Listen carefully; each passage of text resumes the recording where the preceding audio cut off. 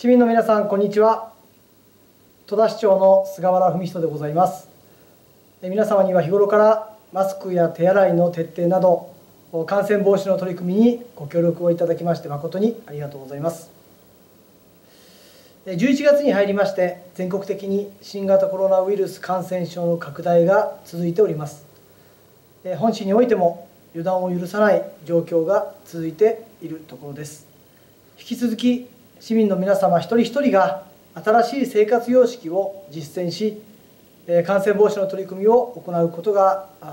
とても重要になってまいります。戸田市では新型コロナウイルス感染症対策として新しい生活様式の普及定着に取り組んでおりますが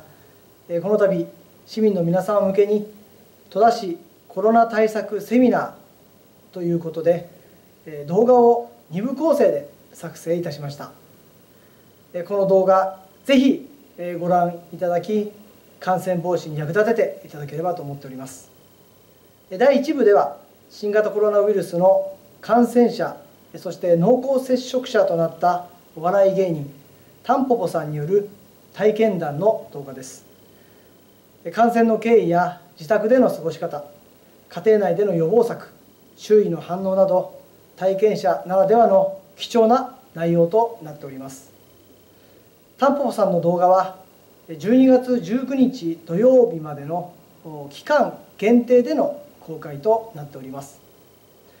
そして第2部では蕨戸田医師会理事の細合医師による新型コロナウイルス感染症対策のポイントについて実践例や流行時期に備えてなど踏まえた分かりやすい丁寧なご説明をいただきました。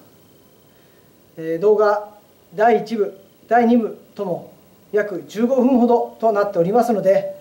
ぜひ皆様お役立ていただければと思っております。それではまた引き続き感染防止対策を徹底してこの冬を乗り切ってまいりたいと思います。戸田市長の菅原文人でした。